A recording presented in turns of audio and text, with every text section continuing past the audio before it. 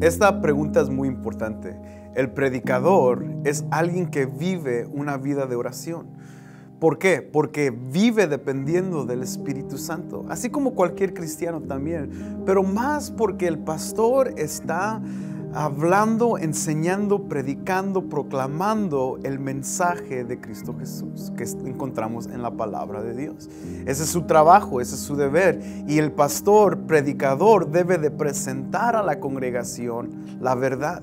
Y es por eso que el rol del Espíritu Santo en la predicación es de mucha importancia, porque el pastor necesita estar dependiendo de la iluminación que él recibe en su estudio.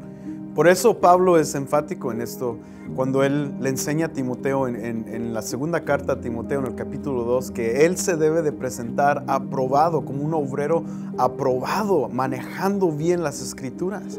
Esto, es, esto no es solamente estudiar y estudiar y estudiar, sino es depender del Espíritu Santo.